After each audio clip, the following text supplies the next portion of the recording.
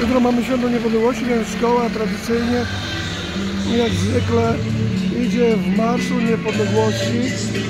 Delegację. Finał będzie na cmentarzu. Witam, witam! Pozdrawiam wszystkich. Dzień dobry.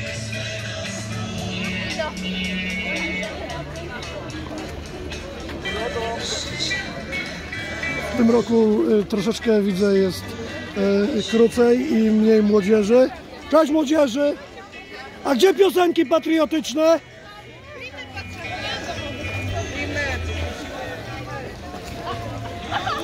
Więc jak co roku w tamtym roku to przypomnę, że sytuacja była taka, że związana z pandemią nie można było zorganizować normalnego przemarszu, więc samochodami żeśmy przejechali. W tym roku młodzież, jak widzimy, przeszła pięknym e, przemarszem e, ze szkoły podstawowej w Kamieniu Wrocławskim imienia Bolesława Krzywoustego do Gajkowa na cmentarz, tam pod pomnik, taki wspólny grobowiec pomordowanych w Chodaczkowie.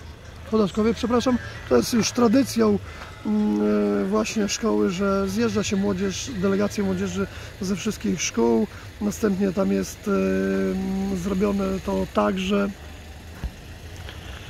że jest uroczysta akademia, nie wiem jak było w tym roku, ale przemarsz jest i to bardzo, bardzo fajnie, bardzo nas cieszy podtrzymywanie takich tradycji patriotycznych.